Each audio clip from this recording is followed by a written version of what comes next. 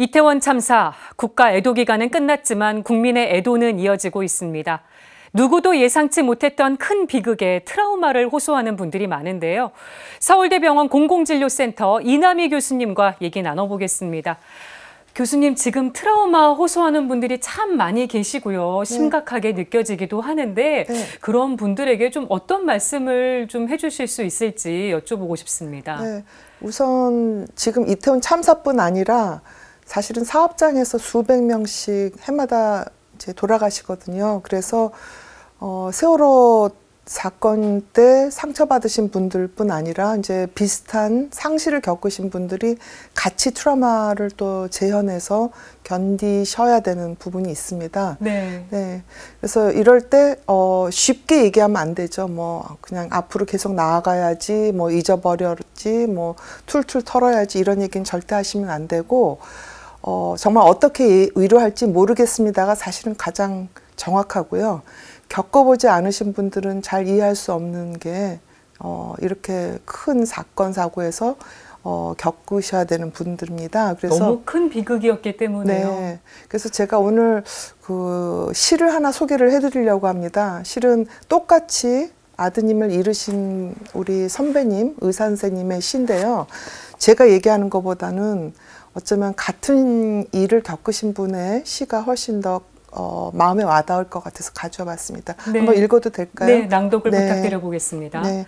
천리길 끝에서도 만약에 천리길 끝에서도 서로 알아볼 수 있다면 많이 사랑하고 있는 것이리라. 깊은 어둠 속 서로를 알아챌 수 있다면 사무치게 그리워하는 것이리라. 만약에 피 안에 물 한 개 넘어 향기마저 느낄 수 있다면 견딜 수 없어 몸부림하는 것이리라. 알아보지 못해도 느끼지 못해도 어둠 속에도 물 한 개 넘어서도 만약에 함께 걸어야만 한다면 보이지 않아도 볼 수 있어야 하고 닿지 않아도 느낄 수 있어야 하리. 네. 네. 아, 네. 그래서 좀 어려움을 겪고 계신 분들에게 이 시가 좀 와닿기를 기대를 네. 해봅니다.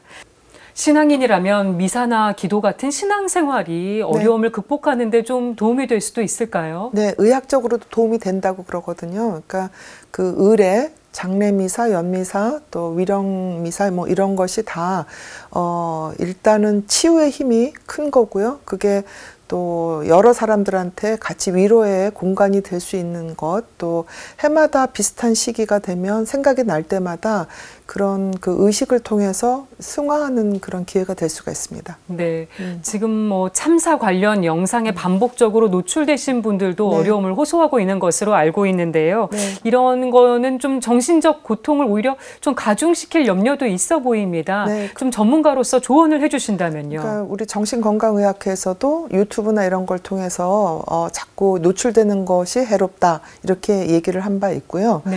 어, 또 SNS 미디어를 통해서 좀 안 좋은 메시지가 이렇게 돌고 있는 것도 역시 굉장히 해롭고 네. 어, 본인한테 굉장히 큰 상처가 될 수 있기 때문에 그뭐 2차 가해라고 할 수도 있고요.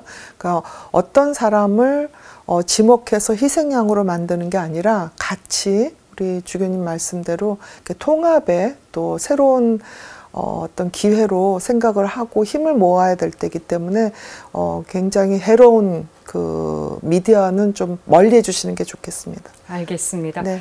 지금까지 서울대병원 공공진료센터 이남희 교수님과 얘기 나눠봤습니다. 오늘 말씀 고맙습니다. 네, 감사합니다.